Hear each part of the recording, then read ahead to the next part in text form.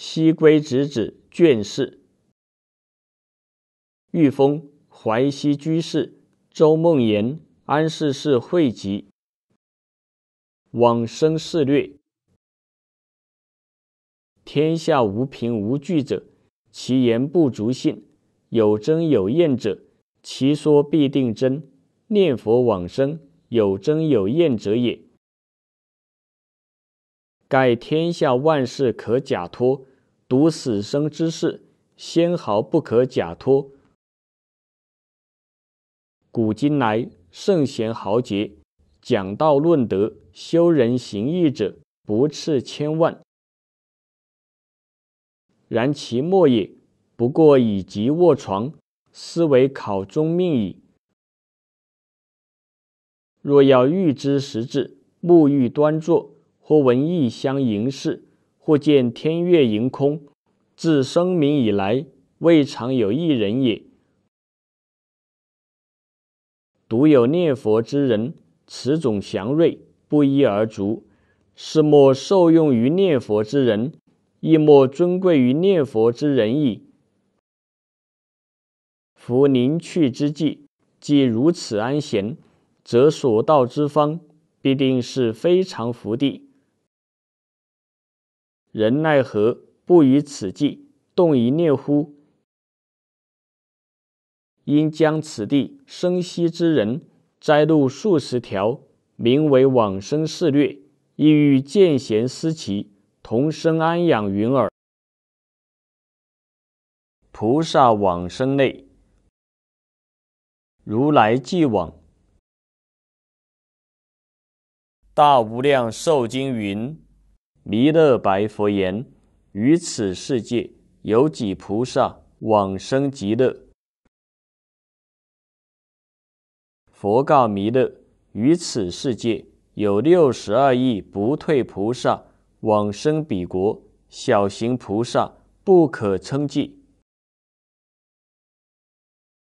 不但此国，他方佛土如远照佛刹，有百八十亿菩萨。”皆当往生，乃至十方佛刹往生者甚多无数。我若据说一劫犹未能尽。文殊愿生，观佛三昧经，佛记文殊当生极乐。文殊发愿偈云：愿我命中时。灭除诸障碍，面见弥陀佛，往生安乐刹。生彼佛国已，满足我大愿。阿弥陀如来现前受我记，普贤求往。华严经普贤菩萨列十种大愿，普为众生求生净土。即云：愿我临欲命中时，尽除一切诸障碍，面见彼佛阿弥陀，即得往生安乐刹。即论净土，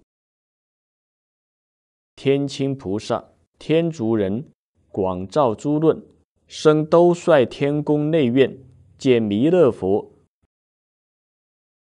著无量寿经论及净土记。五门修法，普劝往生，请佛行仪。天竺鸡头摩氏五通菩萨以神力往安乐国，见阿弥陀佛。陈云说婆众生愿生净土，无佛行仪，请垂降许。佛言：如应先行，寻当现彼。五通环圣仪已至，一佛五十菩萨各坐莲花，在树叶上遂传写流布，见感通传。照论起信。马明菩萨西天第十二祖，常著起信论，后名求生净土，持皆切要。龙树寄生。楞伽经云：“大会汝当知，善事涅盘后，未来世当有。持于我法者，大明德比丘，绝号为龙树，能破有无中，世间中显我无上大乘法，得出欢喜地，往生安乐国，极善往生。大悲经云：佛言，我灭度后，北天竺国有比丘名奇婆迦，修集无量种种最胜菩提善根，以而命中。生于西方，过百千亿世界无量寿国，于彼佛所种诸善根，后当作佛，号无垢光，得人往生。菩萨生地经云：佛言，时差摩诘得不起法忍，五百亲信士，二十五亲信侣。皆得不退转地，寿终俱生，无量寿佛清净国。盛会书名，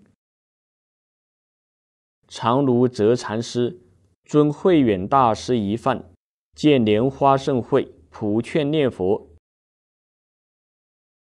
一系梦一少年，乌金白衣，风貌清美，一儿曰：“欲入宫莲花盛会。”起书一名，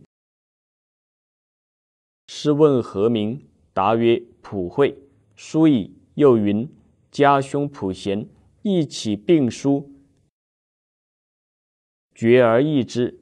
忽思华严经离世间品，有二菩萨名。普惠年发二百问，普贤年下二千答。此大菩萨也。何德赫名家乃尔？遂书二菩萨为会首。莲大师曰：“凡生劫色，古圣书名甚哉！净土之非小缘也。